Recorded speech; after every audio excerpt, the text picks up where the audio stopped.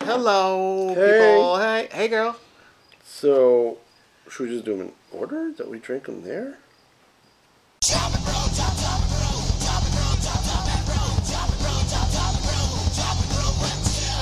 Quick shout out to three awesome partners who help make Chop and Brew episodes possible.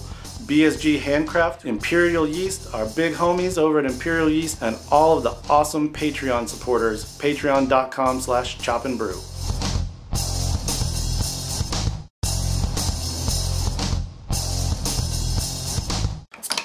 and brew. It's Chop and Brew, everybody. Welcome to my garage. I'm Chip Walton. This is.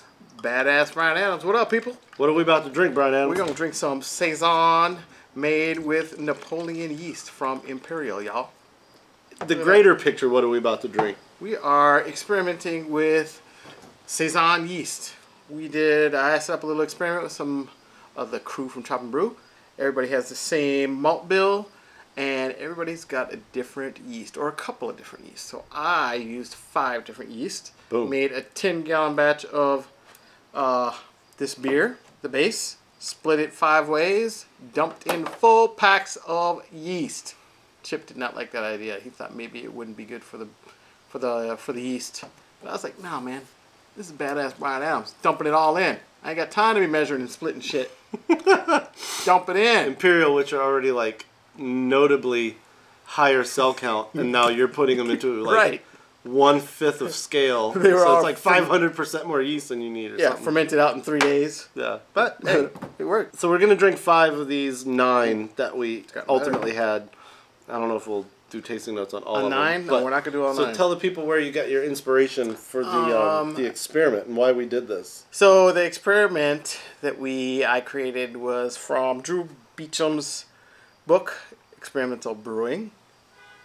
Right, right, yep, yep. And he had a grain bill in there, eight, eight, uh, eight point seven five pounds of Pilsner malt, eight ounces of flaked wheat, a pound of table sugar, is what we all used. We should have had an OG of 1048. It called for 22 IBUs, which came out to uh, I used Magnum uh, 0.35 ounces at 60 minutes, and almost a half an ounce of Zafir. Zafir, Zafir at Zafir. 15 minutes. not the Saphir. Zafir. We just had a an internet rabbit hole trying to figure out how to pronounce that. But Mm-hmm. a German guy on the internet says it is Zafir. Zafir. So, yeah, not a lot of hop, not a lot of like characterful malt. Um, the idea is this is his like base recipe. And correct me if I'm wrong. Whenever he's testing a new yeast or maybe a new spice element or a new hop, so w- would you agree that this is a fairly neutral Very. recipe? Very neutral. dare say almost wouldn't say boring, but it's just like very plain. There's no extra spicing. There's no like grains Right. of paradise. There's no black pepper. There's no some of those things that you might see thrown in a saison. So right. this is a clean control recipe to test a bunch of yeasts. Right. And I think it was good because you don't get influence from malts or hops or any spice addition. You can really dial in what do you want from your your yeast? What character do you want to come out? And I think we talked about when you add those other spices, it could the, the yeast really could bring out more of that character. Or the hops. Like Right. as I taste these, I'm like, ah, I wish we had been able to play with the hops, but I understand the point. So, so I brewed um, two. I brewed a five gallon batch, split it in half. It was all grain. Um, I steeped the flaked wheat as the water was pretty much coming up to temperature, maybe I got it to like 150, and then I did the Pils malt, and then the table sugar. It was a very simple and actually kind of fun brew day. It was a really pretty brew day. I took some pictures, some some National Geographic type video of like our hostas and our flowers and some bees getting down on the herb garden. Back Like- to the beer. no, it was fun. It was it. A beer like that with not a lot of stuff going on allows you some time to kind of like mess around. But so I used Imperial's um, Suburban Brett, and I used Bootlegger Biology's uh, Mad Fermentationist blend, which is kind of a mashup Yep. um, with Michael Tonsmeire. Yeah, and then you with- brewed with. with uh, sorry, I'm getting all Imperial, um, Napoleon, Imperial Rustic, which is what's in the glass. Imperial Workhorse. I did bootleg saison parfait, and I did Safe Ale VE 134, which I'm sad to say I screwed up on. You didn't even bring it. I did not bring it. No, no, no, no. Uh, well, let me go back to all the beers. So, we when we were starting this project, there was some talk of saisons would stall, and so we were trying to pick a date that everybody could come together and drink beer. And uh, this idea or this thought that saisons will stall. So, doing some research, I looked in and found that uh, if you don't put an airlock on it, that could um, lessen the back pressure on your beer and the saison won't stall. So I decided, fine, I'm gonna do all my beers, all the airlock. Um, Carboys had um, sanitized tinfoil, and then I had two buckets that I just didn't push down all the way, so it kind of cracked open. I let them ferment for I think it was four days. I noticed, um, looked in there and saw a lot of Krausen, and I was like, ooh, let me go stress these out. So I threw them in my garage midsummer. Oh, to bump up the heat. Yep, bump up the heat, and it was probably 95 degrees in the garage. And uh, oh, at that point, I don't think I saw any more bubbles, but I saw the the Krausen. Not a lot of bubbling going on. Threw them in the in the um, garage, and they took off again. So 1051 OG, 997 final, Yep. something like 7% alcohol. Right. We all noted pepper, grassy, spicy, um, citrusy. I said medium light body, bit of spritz and carbonation, but that I would drink a pint of it. Now that we're so, like Bryon was saying, sorry, we're getting all over the place. So we gave this thing like two and a half months. A to make up for a stall should there be one, Yep. and B Bryon wanted everybody to bottle condition it, which did not happen. Um, this so we met up last Friday. Yep. August 17th, um, and not everybody showed up. There were some flakes, Yeah. but That's by proxy, they sent their beer. So we had nine beers. Um, so the point is, this is Napoleon. You know, Imperial Napoleon it describes it as producing very dry, crisp beers, nice citrus notes. Um, confirm it 65 to 78. And you said you pushed it. pushed it. Yay, yay. I think I'm getting a little more spice. I Yeah. wonder if it's going to age and get some other characters. But it, it, for sure, to me, it tastes a little different than last week. Yeah. But, you get know. dry like that slightest beginnings mm-hmm. of a little funk. But citrus pear i mean mm-hmm. there were there were a lot of words throughout all of these that popped out. Citrus Yep. fruit apple pear. We were using like the kind of quick judging form for like uh, homebrew competitions but then obviously there was room to write and i clearly wrote more on the on the right side mm-hmm. as always. But And they were all pretty bone dry. I mean, they were. Fairly, yep. There were two that we noted as being a little more rounder, but they were still like 1002, mm-hmm. 1004. Yeah. So many of these finished below 100. It was like a cider cider tasting. So, anything to note of that, or should we just move on to I this think move video? on. Move on. Do you want to just should we do these in order? Well, Do you want to do bootleg? yeah, let's do bootleg. We should have Bootleg, y'all. we should have organized this better and done like rounder to driest. That way we don't like bounce Well, they're all pretty dry. The roundness is going to be round like a triangle. round like a triangle. So here we go, and they all pretty much uh, you put me out of focus. focus, There, there I am. They all turned out pretty much this kind of light gold straw colored. It's again, it's just Pils Mm-hmm. and um It might have been mixed up in the car, so all that yeast is and some wheat. going crazy. So this is bootlegger biology, mad fermentationist. They kind of got together. The bottom line is final master blend consists of saison, yeast, Saccharomyces, rare Brett, and an opportunistic uh, lactobacillus culture. So when I brewed mine, both of the things that I had had two totally different um, fermentation ranges.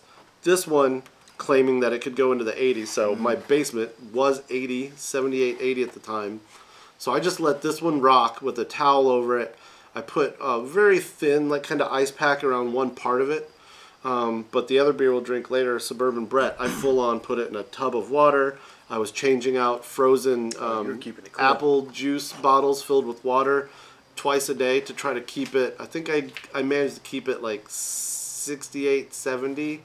And then I let it kind of creep up. But this one, this is my hot one, if you were going to call it that. okay. So mine are kegged. I failed on the bottle conditioning, but I kegged them like super high. They sat at 21 for about a week, and then I brought them down to about eight. Clean. I like this one. Yep. It's herbal. It's got that slightest bit of like mint, but it's still peppery. Little bit of funk. Yep. There's a little bit of fun coming through. It's definitely dry though.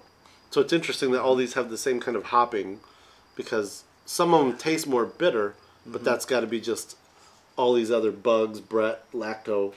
Yeah. Both of mine are also ones that I think could benefit from age, which is not going to happen. What has happened to our lighting all of a sudden? What? Look at this. The sun Like will come out heads. Tomorrow. Oh yeah, dude. Our heads are like, this is crazy. Sorry. y'all. you're gonna see are my g- glasses. Ooh, sun man. Oh, Look at this. Over, over oh, exposing.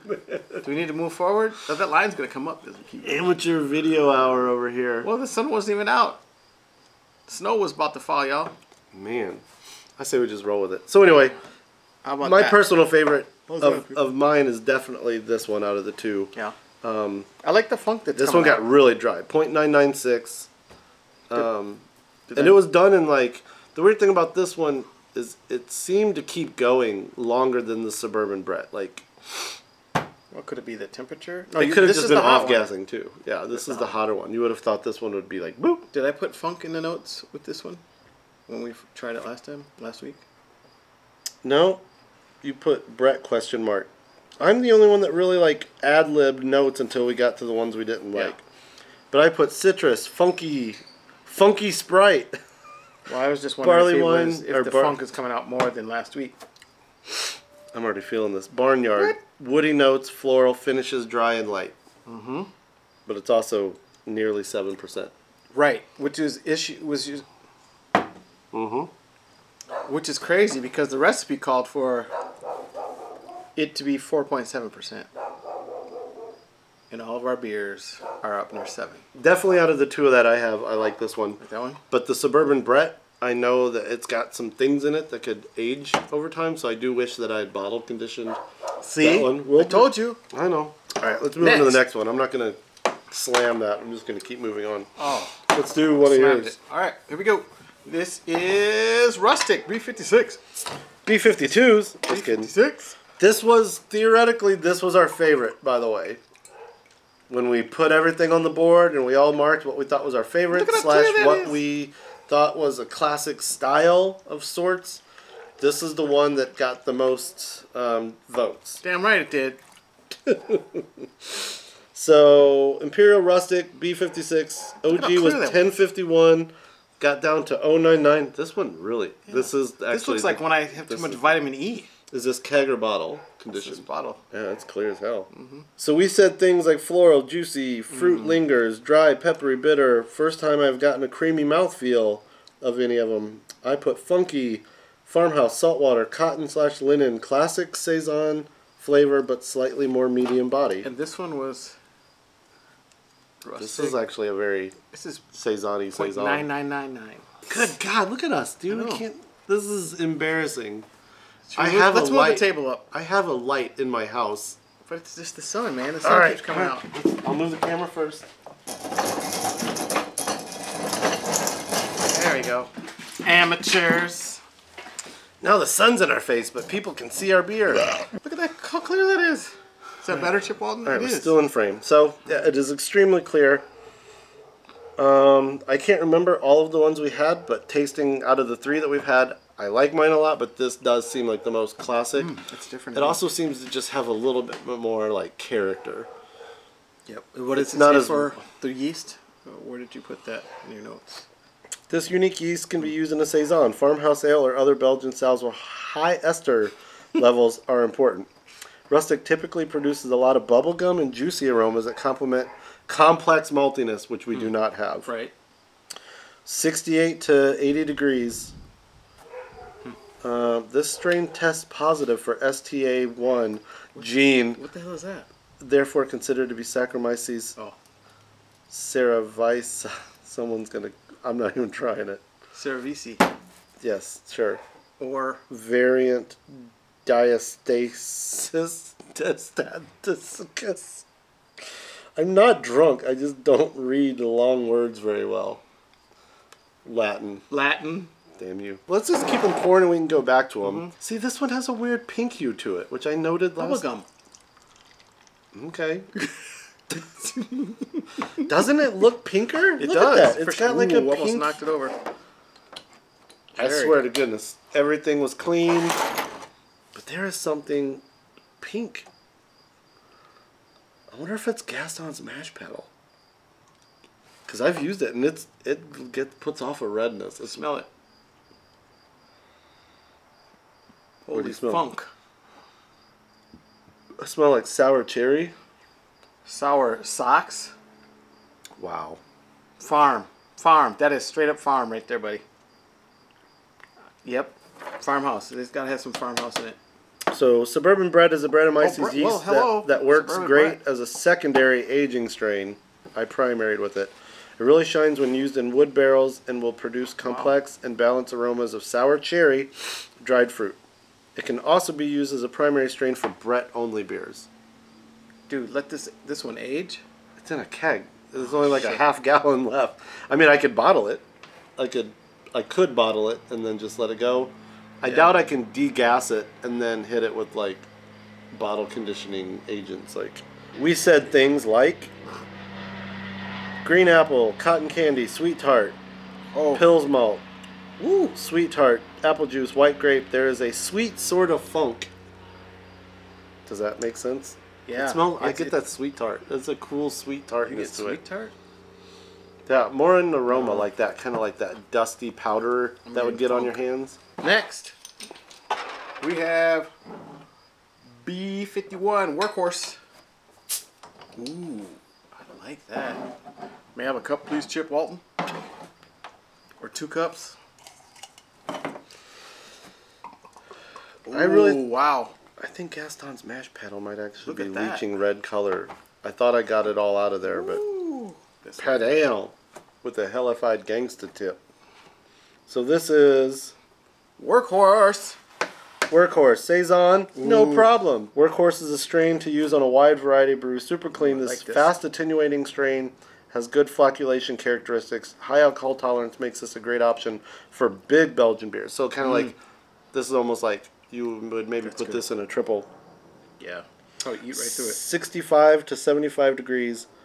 You went from 1051 to just 10000. Yep. Light spice, slight banana flour yep. flavor. Yep. Dry finish, nothing overpowering. Nice example, hits a lot of the style points. Mm. Carson said very one note. I'm gonna have to talk to Carson. I like that, especially on the heels of this one, because this brings it back to being a Saison. Yep. This Brett one is cool, interesting, funky, but it's almost like Saison Plus. Yep. This is nice. Yeah. Workhorse. I, I almost like this one better than the rustic now. I'm going to put Bryon Flip Flops. I like that. That one's sweet. This one's drier. Try that, the rustic, and then compare it to this one. It tastes really sweet. Oh yeah, it tastes more apple juicy now all of a sudden. This comes off as drier, and this is one of those ones that I'm saying it comes off as more bitter, even though Or it isn't. look at how carbonated it is. Yeah. Maybe it's that. How does Brülosophy manage all these details? Uh, they keep drinking. Look at that head. Oh, have we opened all of them? Good. So We now did. we're just chilling. Okay. So out of what's before us, granted, Man. there was a couple other beers. There was the Bootleg Biology Saison Parfait, as he said, Imperial Citrus, East Bay Yeast Saison, uh, Saison Blend, Yeah, the SafAle. Which oh, should I tell them Uh, what happened to that one? East Coast Yeast Saison Brasserie. Safe Ale might have been my favorite if I had listened to Paul Illa. It had finished fermenting. I tasted it and it had this sour hint to it. Like some lacto had gotten in there from open fermenting. Maybe, I don't know what happened. And Illa told me, bottle it now. And I screwed up and went up to the cabin, came back, and uh, tasted it, and it tasted like nail polish remover. That oxygen, I Yum. think, had worked its way in. So I had to dump it. It was so bad. Oh, he was saying if you bottled it and maybe hit it with whatever sugar and yeast or that that stuff that Chuck uses to bottle condition, what oxygen might have been in there would get eaten up and No shit. cleared out. Oh no, I'm that was with a question mark, not a period, but Oh. I guess I'm right, is what you're saying. I guess I Paul was insinuating like if you bottle it now and do a little bit of secondary fermentation in bottle condition, it will eat some of that up. And Some instead you were like, No. no, I'm gonna This I'm gonna triple down on the oxygen getting into this beer. In Chuck's episode, all of his recipes, his last step is um, bottling with a mix of sugar and this other thing. It's kind of like a To eat the a casking agent that you Hmm. can also do in bottles to basically do a secondary fermentation. This is a very boring section of the video, but Maybe we should we'll drink. link it right here. no, put it over here. Oh, right here. This product right here. This is what Chuck, award-winning Gosnell. Gosnell. Gosnell. God bless man. just- this video is the worst. No, it's not. Well, overall, I think it was a good experiment, man. I, I liked it. I, um, I would. I think Mine I am like going saltine to crackers now. When you go back to try it where's your this again with these two yeasts, but add some spice to it. Maybe I'll do another experiment. Brew ten gallons, split it four ways, and change the spices with those two yeasts. Just by yourself, right? You're not going to involve the Yeah, rest I'm not us. gonna have anybody come over and do this with me. It's just by myself, me, myself, and I. Maybe I'll just make a one gallon and split it four ways. Everybody gets a half a cup, and I'm putting a whole imperial pouch in there. Forget you, Chip Walton. Before we wrap up and take a little beer nap, we want to thank a couple of Patreon supporters that have been with us pretty much since the beginning. We'll give a shout out to Brandon Allen, what up, homie? Paula Webba Gregory West, and Adam Joyce. These are some people helping to keep Chop and Brew going, so we hope you support them mm-hmm. at patreon.com slash chop and brew. Get yourself some fun rewards. Keep the show going. Keep keep us out here in very, the garage. very unscientific experiments going. This is I scientific. feel like this was scientific. Scientific enough. I dare you to mix them all together. I don't have much left. Oh, this should be the closing edits right here. Play, play the music. What are you topping it off with? I don't know. Beer. Oh, is it beer flavored beer? No, ah, ah, ah, No, Ah. I- there's a little of all of them in there already. ah. Wait, let me mix it. With your finger? Well, you want me to mix Here, this pen came out of your bag. God knows where it it's on been. my ass? That's scientific. You keep that pen. Get the suburban Brett in there too. Tastes good. Really? A guy named Brett who lives in the suburbs. That's cool. Hmm? It's actually not bad. It's not. It's kind of pathetic. Saisons, you crazy. You drunk. Go home.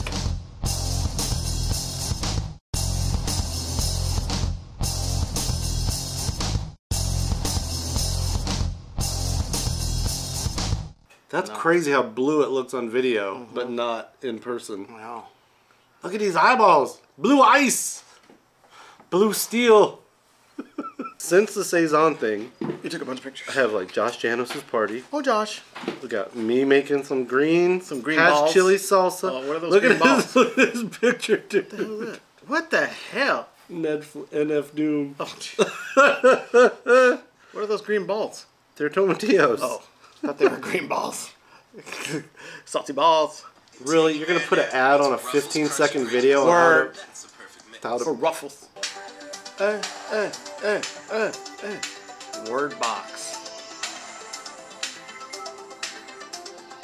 You gotta be kidding me. That's a long ass intro. You know how Merriam-Webster? It's like 30 se- two seconds. Safir. Hello everyone. Thanks for choosing my video. Well, right now I will show you how to pronounce this word. Let's start. Sapphire. Sapphire. Wow. Saffir. That's deep. And I will repeat again. Oh, Shut up. Slowly. Saffir. Here, here's a guy in Germany. Zafir, See, like I said. Zafir, Zafir. Za. Zafir. Za. Za. Za. Za. Zafir. Za. Wow. All right. I'm glad we were recording that. Zephyr. That's how you make a blooper reel. I, I got it out of um, what is it? Radical. Brew, uh, Drew Beechum. Hold on, let's start Yeah, that over. which- It's what's- experimental, experimental. brewing. Oh, Jesus Christ! All right. Hold on. Hold Are you gonna write it down? Yes. oh, oh shit! All right. Hey. That's what you get when you All make right. fun of Chip Walton. Whatever. All right. I'm not drunk. I just don't read the long words very well.